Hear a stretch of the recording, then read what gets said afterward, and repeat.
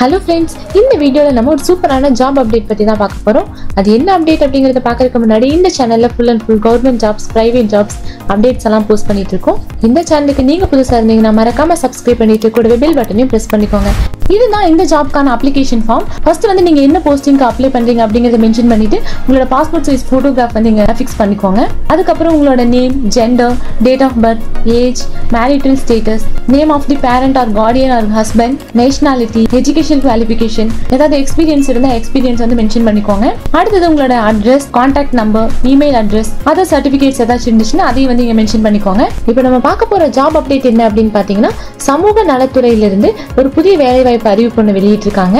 அதாவது இந்த job recruitment வந்து central administrator senior counsellor case worker security guard and multi purpose helper இந்த job போஸ்டிங்ஸ்க்கெல்லாம் அனௌன்ஸ் பண்ணியிருக்காங்க.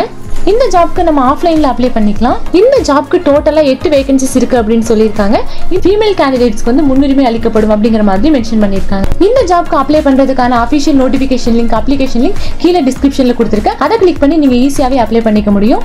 இந்த ஜாப் ரெக்ரூட்மெண்ட் இப்போ வந்து காஞ்சிபுரம் டிஸ்ட்ரிக்ட் வந்து அனௌன்ஸ் பண்ணியிருக்காங்க. நீங்கள் எந்த டிஸ்ட்ரிக்ட் அப்படிங்கிறது கீழே கமெண்ட்ஸில் வந்து மென்ஷன் பண்ணுங்க. உங்கள் டிஸ்ட்ரிக்டான ஜாப் ரெக்ரூட்மெண்ட் வந்ததும் நாங்கள் வந்து அப்டேட்